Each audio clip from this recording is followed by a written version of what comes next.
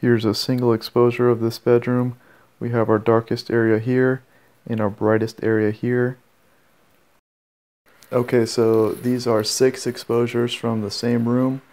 This is the shot I'm going to use to get the darkest area of the room, which is right here. This is the exposure I'm going to use to get the brightest area of the room, which is right here. Now, I could probably just use this photo. I didn't have to go this dark, but what I look for is to make sure I have all the detail in the sky and in the clouds that way I know I have everything I need and I would just rather go a little bit darker than I needed to than not dark enough. So I've already made all these pictures uh, into a stack so I'm just gonna um, collapse this stack and I'm going to use a plugin called Enfuse.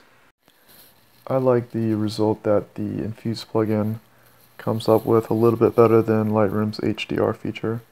So here's the image and I haven't applied uh, a preset or brought down the highlights or anything. This is just how it looks. It's already looking pretty good. So we'll apply the preset uh, which is going to bring down the highlights and bring up the shadows all the way and it's also automatically adjusting the white balance a bit. Now I'm going to bring up the exposure to get the room at the brightness I want it. Uh, this is about where I like it. Now, the windows are looking pretty good, but I want to be able to see all the detail in that window. So I want it just a little bit darker, and I also want to warm it up a bit. So I'm going to play with the white balance a little. So I'm going to use the adjustment brush for this.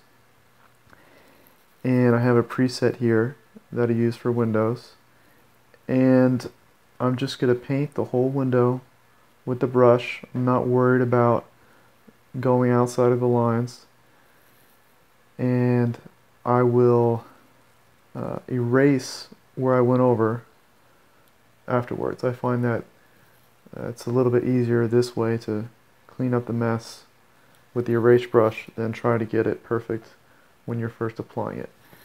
Now this would take a long time and would be very tedious if I was using the uh, laptop trackpad or a regular mouse. I have a Wacom tablet with a little pen, so you're basically just it's the same motion you've been using you know your whole life with a pencil and a pen. So it, it's pretty easy to just you know scribble and pretty accurate. Uh, otherwise this would take forever and I wouldn't be doing this at all. So this is a little bit darker than I need, so I'm going to adjust this a little bit. Um, and I'm going to play with the white balance a bit. And that's it. Uh, of course, I'd go and do the other window as well, but I think this is enough to show you the technique. Thanks for liking, and thank you for subscribing.